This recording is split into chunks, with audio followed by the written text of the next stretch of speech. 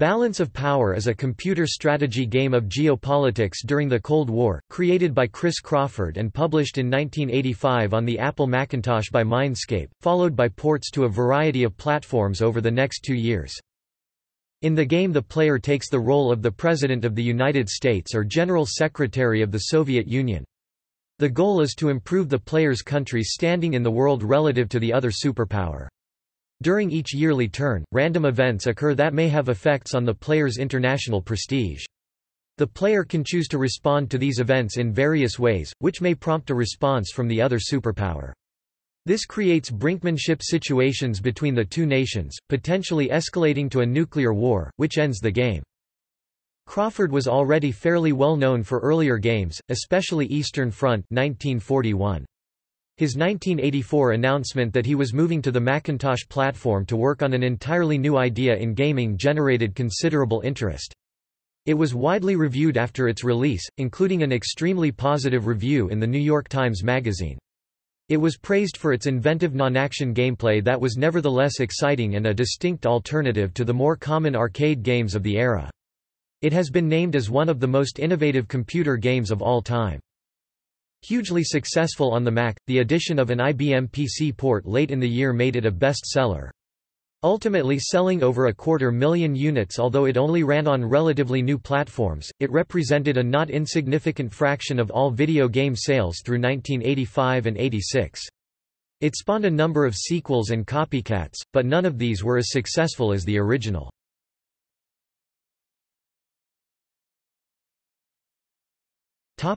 Gameplay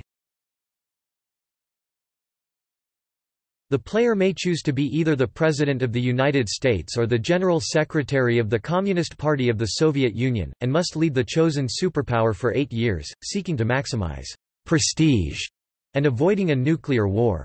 Each turn is one year long. At the beginning of each year, the player is presented with a set of incidents and crises in various countries around the globe, and must choose a response to each one. Responses may range from no action, to diplomatic notes to the other superpower, to military maneuvers. Each response is then met with a counter-response, which may vary from backing down to escalation. The player then gets a chance to initiate actions, and deal with the opponent's responses. This core mechanic is similar to that of Bruce Ketchledge's 1983 game Geopolitique 1990, published by SSI. One difference from the earlier game is how negotiations are resolved. In both games, backing down in a negotiation results in a loss of prestige, which will reverberate politically. Likewise, in both games brinkmanship may result in a global war. In Geopolitique, such wars were actually fought in-game, after which the game continued. In Balance of Power, such a war ends the game instantly, with the following message, you have ignited a n accidental nuclear war. And no, there is no animated display of a mushroom cloud with parts of bodies flying through the air. We do not reward failure.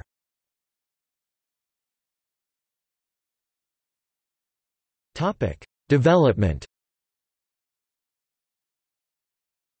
Crawford had made a name for himself during his years at Atari in the late 1970s and early 1980s. His smash hit Eastern Front made him one of the few game authors known by name, and helped ensure later releases were also successful to a degree. By early 1984, Atari was rapidly going bankrupt due to the effects of the North American video game crash of 1983. In March they laid off the majority of their staff, including Crawford. His ample severance was enough to allow him to write a new game as a freelancer. After considering a sequel to Eastern Front or a political game about the Inca Empire, he eventually decided to write a Cold War game about peace. Crawford cited Bob Dylan's Blowin' in the Wind as an emotional inspiration to the game, considering the Atari platform a lost cause, Crawford began looking at the new 16-bit platforms that were just coming to market. He dismissed the IBM PC as too crude, the Amiga is likely to fail for business reasons, and chose the Macintosh as the platform to develop on. At the time this was non-trivial, as there were no development tools for the Mac, and programmers had to buy an Apple Lisa for this. During an April 1984 interview at the Origins Game Fair, Crawford stated that he was working on a game for the Macintosh entitled Arms Race based on the philosophy that H-bombs don't kill people, geopolitics kills people.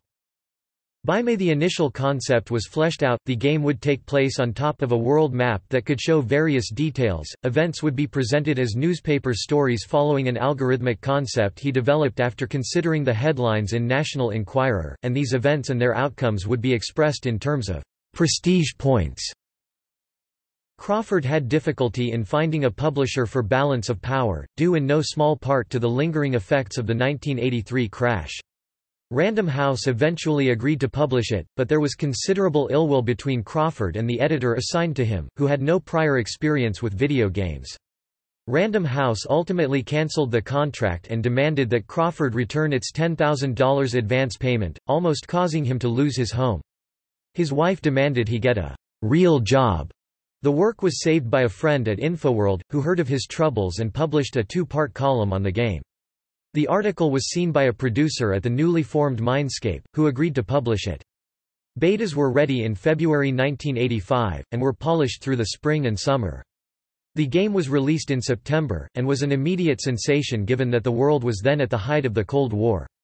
The fame was in no small part helped by a review in the New York Times Magazine written by David L. Aaron, Jimmy Carter's deputy assistant to the President for National Security Affairs, who called it, about as close as one might get to the cut and thrust of international politics without going through confirmation by the Senate."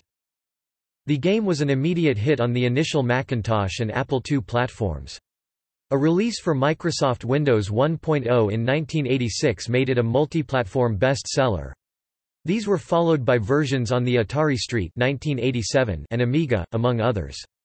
In total, the game sold over $10 million during its heyday, during a time when total sales for all gaming hardware and software combined was about $500 million. In 1986, Crawford published a book also called Balance of Power, which goes into great depth on the game, including the background of the politics, the formulas used to calculate prestige and related parameters, and an account of its lengthy gestation.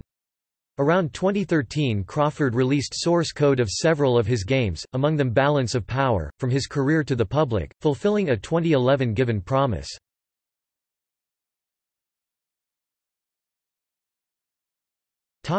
Reception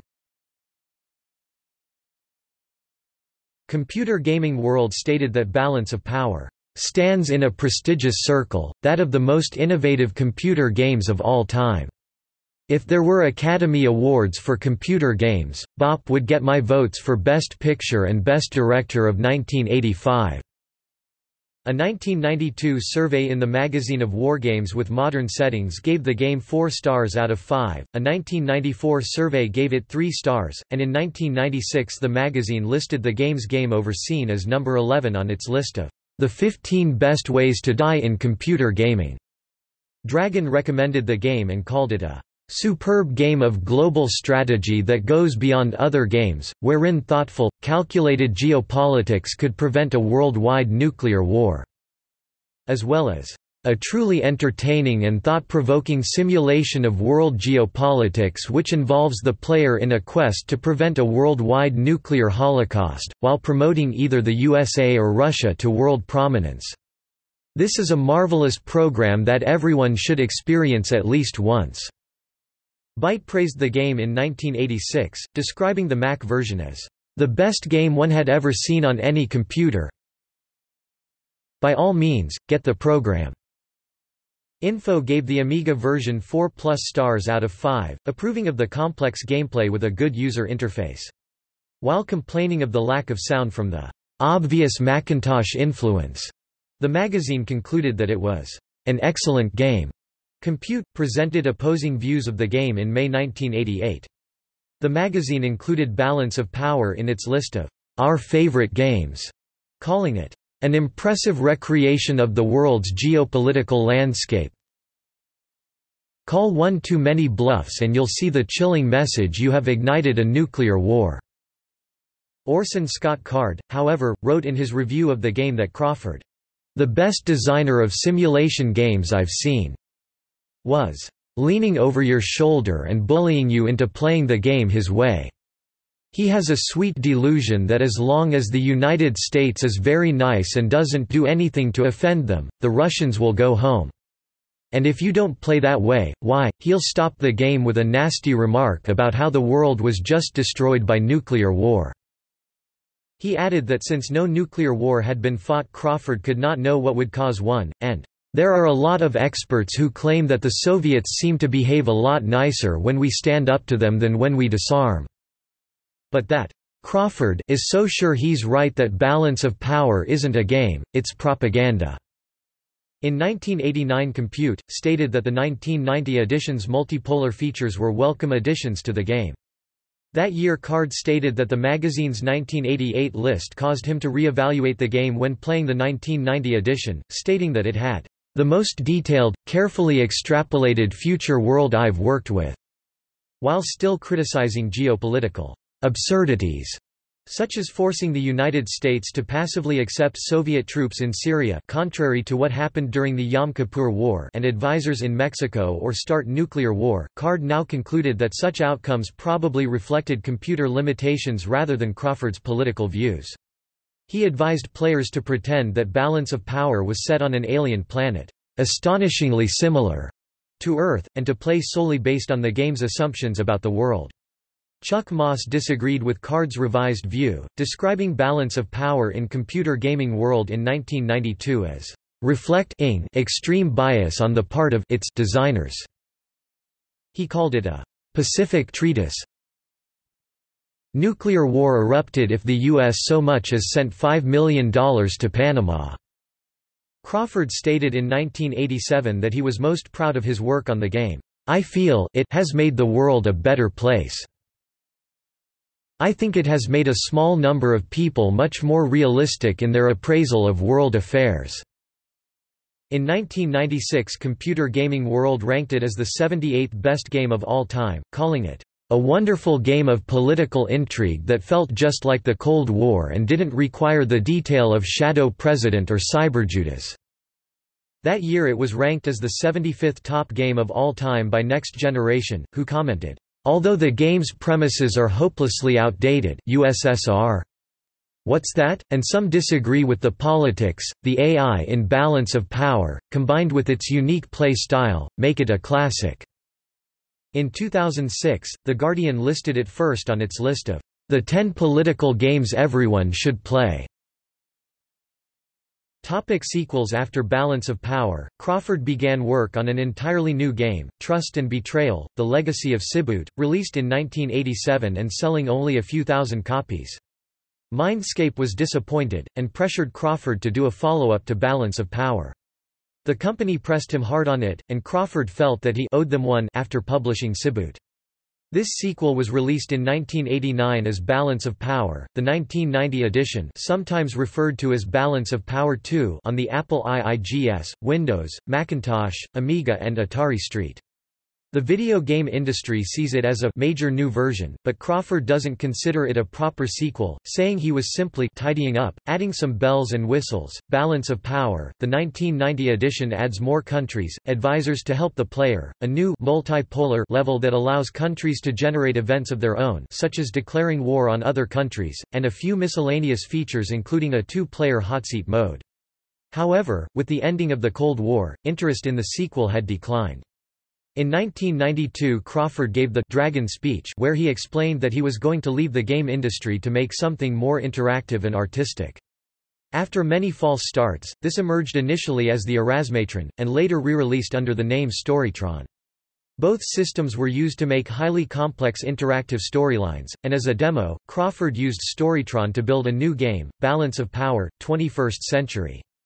This version begins on 12 September 2001 and mostly involves the U.S.'s interactions with Asia and other emerging powers. It was not a success. Crawford himself describes it as crap. Balance of power has also been used as the basis for a number of play by mail versions, manually run and based on moves posted in Internet forum systems. One long running example is hosted on Airregime.